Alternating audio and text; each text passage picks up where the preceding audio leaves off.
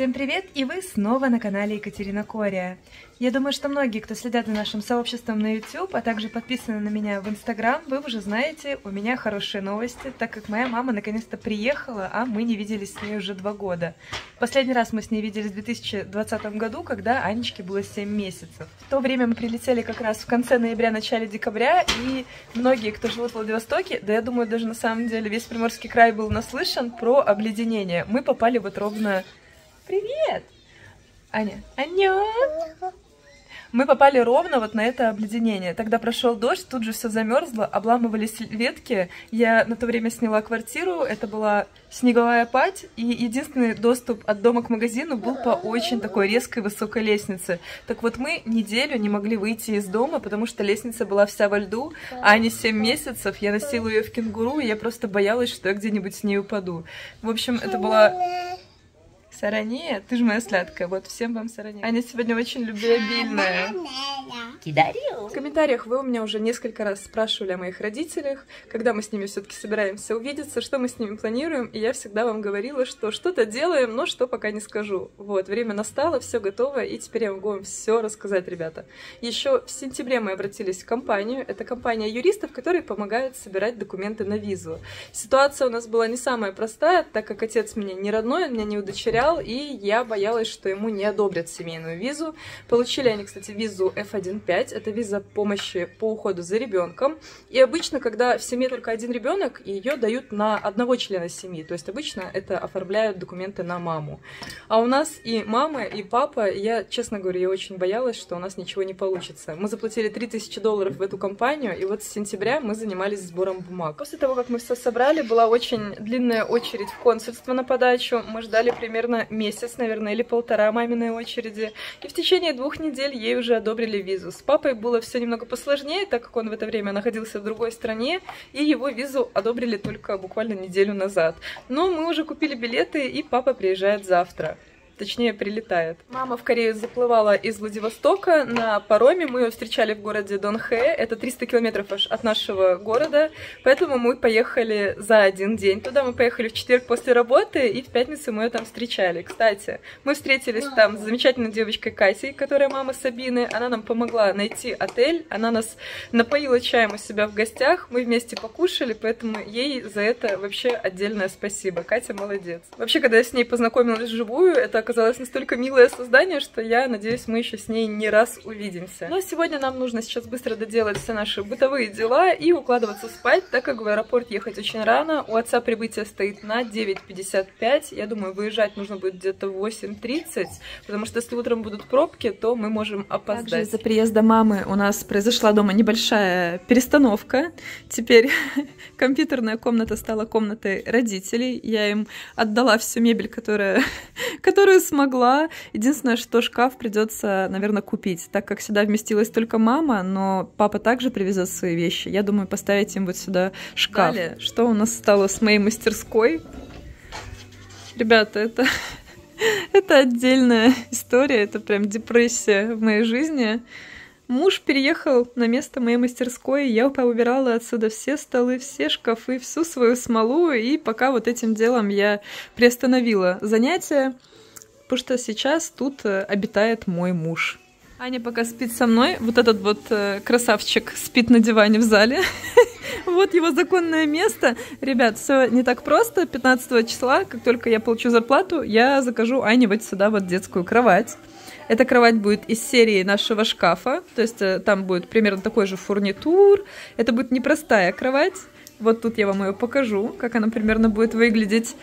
Единственное, что я предполагаю, скорее всего, скорее, скорее всего, скорее всего, на это будет тяжело осуществить. Вот этот шкаф я хочу перенести вот на эту сторону, а вот сюда вот поставить кровать, так как она все-таки пошире, чем шкаф, и кухню переместить э, туда в ноги к кровати. Но это пока мои же громкие, это пока только в задумках. Аня, ню, буяега, сенгиль. Купили ей тортик, а там прям свечку можно задувать. Прям на нее дуешь, и лампочка тухнет.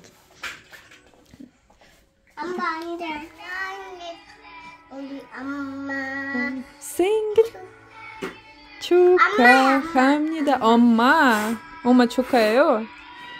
Ва, царство. Вот такая вот э, забавная штучка на тортике. На носик ему нажимаешь, свечка загорается и начинает петь песню с днем рождения. А вот когда в эти дурочки дуешь, она тухнет. Она фюхеди. Вот так вот. Классная игрушка. А самое приятное, что я приезжаю с работы, у нас теперь дома всегда есть покушать. Мама готовит. Моя мама очень вкусно готовит. И самое, знаете, что удивительное? Она готовит корейскую кухню тоже. Она любит очень корейскую еду, и сегодня она нам сварила кимчи-чиги. Это корейский суп из кимчи. Аня, она жарила... Простите, пожалуйста. Аня, она жарила лапшичку с мясом, но она не учла, что ешь у меня. Тот еще гурман, Вон, видите, сегодня школа художеств у них там была. Ёша у меня тот еще гурман, и она не стала кушать лапшичку, она кушала рисик. Также мама привезла нам очень много вкусняшек. Что-то мы уже, ребята, съели, а что-то я подарила девочкам. Но самое главное — это киндеры. Нормальные шоколадные яйца в фольге. В Корее только пластиковые. И было очень много вот таких вот разных наборов, но я уже все, все пораздарила, все понадарила. Ну и что меня, наверное, больше всего удивило, я попробовала добрую колу. Не знаю, мне показалось, что на вкус то же самое, но моя свекровь не стала пить, она сказала, что она не такая. Ну, я и не настаивала. Кто там? Кто там? Кто там? Здрасте, это, это мы. Это мы? Ломаем, ломаем вашу эту технику. Мама говорит с по-русски какие-то слова, на корейском. Что-то что, -то, что -то она еще у меня знает. Кстати, самое удивительное, что Аня понимает русский. Ну, по мере своей возможности. Она! Она! Ига, ну гуя! Ну Ига! 이거? Кто? 이거 누구야? 어, 이거 누구야? 이거 누구예요? 이모, 무슨 임? 할머니. 할머니, Так и живем. 할머니 좋아? 할머니, 뽀뽀. 이제 할머니 뽀뽀해야지. Что это все это? Растрепанно, расстегнутое. 할머니 맛있는 거 많이 쌌어. 뽀뽀. Так Ты- скажи давно туда, да? Да. Вот так и 마, живем. 맛있는 거 먹어요. Вкусненько? 할머니 뭐 쳤어? 할머니가 이거 뭐야? 맛있는 거 먹어요. 이건 맛있는 맛있는 거야? 근데 이거 뭐야? 요거트. Йогурт. Моя что, дорогая. Что сама йогурт не пьешь? Что это? Что это? Джус. Молодец, пятерка. Мама чуть-чуть, кстати, знает корейский, потому что она по молодости была в Корее раза три, наверное. Три? Три. Три. По старости. По старости? Ладно, ты, конечно, у меня старая, ей всего 45. Ягодка. Все. Мама переняла все мои должностные, должностные полномочия, все мои обязанности. Вон туда стреляй.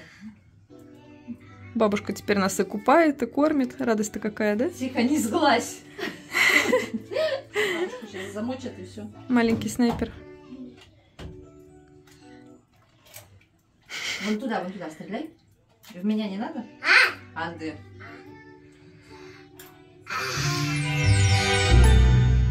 Ребята, всем доброе утро, и мы уже почти приехали в аэропорт. Ну, наверное, только мы могли проспать в тот день, когда нужно было забирать отца, так как он уже вышел из самолета, а мы еще в пути. В общем, нужно было лечь вчера пораньше, но мы ответственно подошли к ситуации, и до 5 до 6 утра, наверное, просидели в телефонах, поэтому будильник с утра мы не услышали.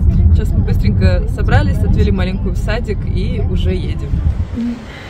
Несмотря на дождик, погода радует, так как сегодня плюс 10. Вообще эту неделю в Корее было достаточно тепло. Началась, я так понимаю, что оттепель, но думаю, что к Салялю, к корейскому Новому году, должен все-таки выпасть снег. Ну, по крайней мере, в том году очень много осадков выпало на этот день. Так что я еще жду, зиму еще жду.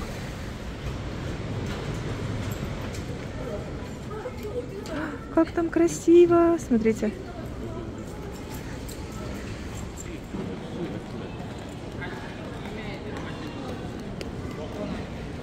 Нам на гейт И, на последний, поэтому я подбежала специально для вас, чтобы снять. Посмотрите, как красиво ребята все сделали. Монитор. Прям красота. Мой папа еще раз доказал, что он гениальный человек. Мы ждали его на выходе. Он вышел вообще с другого выхода и зачем-то ушел на остановку. А мы стоим и ждем, и он пишет, а я на автобусной остановке, понимаете? Я... мама, Так, тихо, мама. Мама матерится. Все, я убегаю, мама злая.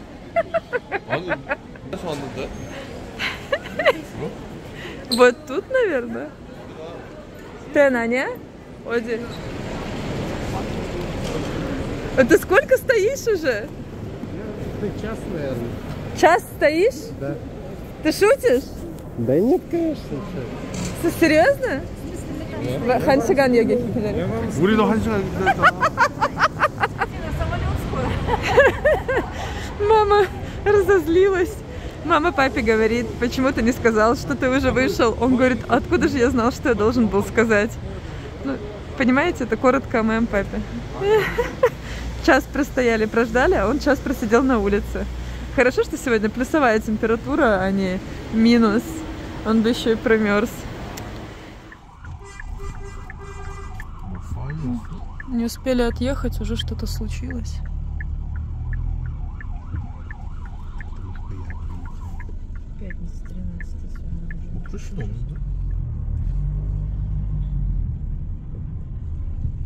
Полицейская? Ну. А, не вода, елки, ничего себе. Нет, но это Билайн же. А! Ну, а у тебя что? Ой, когда-то. Машина полиции. Три. Ой, ужас какой. Я надеюсь, со всеми все хорошо. Все, приехали кушать. Не знаю, что будем кушать. Муж не спрашивал, просто привез нас. Смотрите, огородик с салатиком. Красота какая. Тут заказываешь не отдельно порционно, а сетами. Вот такими на два человека, на три человека. Мы заказали вот этот на 4 человека. Там вся разница, что тут мясо хрюньки, а тут говядина.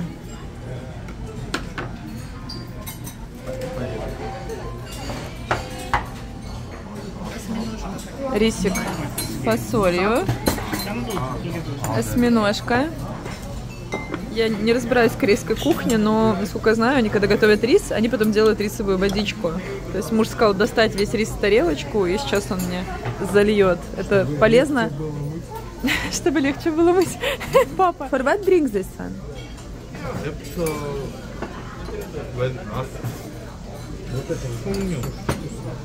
Очень хорошо объяснил. Будем считать, что это полезно. Сейчас Аня первый раз встретится с дедушкой. Что-то мне подсказывает, что это будет провал. Аня. Чогину гудзи? Баба чогину гуя?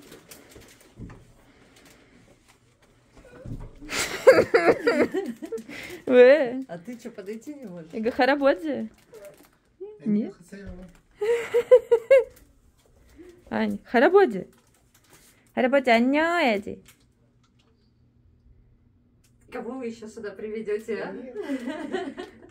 왜, 할아버지 기억 안 나요? Вы просто посмотрите, сколько киндеров привез Ане папа.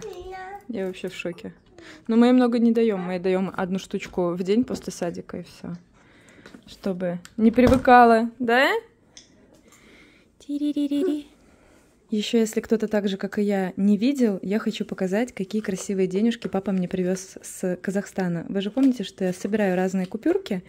И, ребят, я вот честно хочу сказать, несмотря на, на вот это вот огромное количество, казахские 20 тысяч — это просто самое красивое, наверное, что есть в моей коллекции.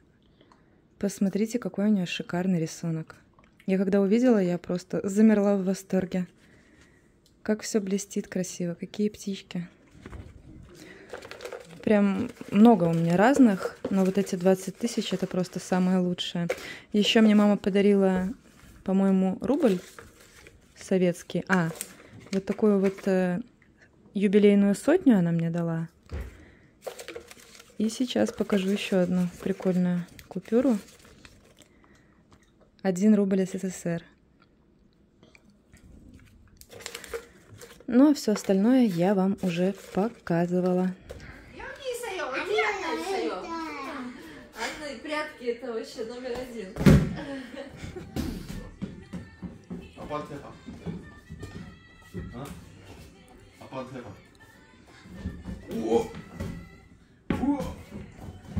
Пальмани, пальмани, перехватывай туда.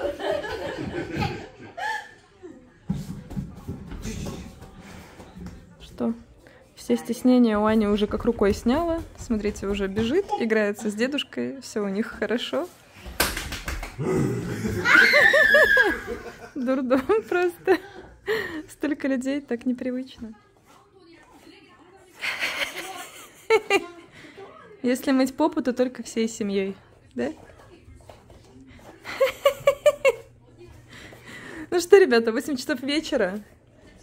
Они поиграли минут пять, и нам опять начали названивать соседи, что у них дети спят. Я не знаю, с одной стороны, я хочу их понять, потому что дети это тяжело, маленькие дети это тяжело, тем более у них двойня. А с другой стороны, не совсем понятно, что мне делать с этой информацией, так как на часах только 7 вечера, ребенку еще нет даже трех лет, она активная, она хочет играть, веселиться, а мне нужно весь вечер следить, чтобы она где-нибудь не топнула, не прыгнула. Тем более у нее в гости приехали бабушка с дедушкой. И в этом плане очень тяжело. Но самое обидное в этой ситуации, что матрасы мы купили за огромные деньги, и получается, что они не помогли. Но я думаю, что все равно что-то немного соседка снизу лукавит, так как э, там не такой сильный топот. Мы уже созванивались с своим мужем, мы проверяли. Когда Аня прыгала, она специально прыгала по матрасу, он говорит, не громко, но так отдаленно слышно, что кто-то топает. Но при этом сама женщина, его жена, она говорит, что очень громко, до такой степени, что у нее просыпаются маленькие дети от Анинного топота. Я думаю, скорее всего, из-за того, что у нее двойня, которым еще только месяца два-три, возможно, она не досыпает ночью и просто ее нервирует этот звук. То есть я процентов 90 склоняюсь к этому варианту ответа. Но в любом случае ругаться я с ними не хочу, поэтому мы с ней переписываемся по смс, когда я всегда извиняюсь, пытаюсь успокоить Аню, но я надеюсь, что чуть-чуть дети подрастут, и она немного меня поймет.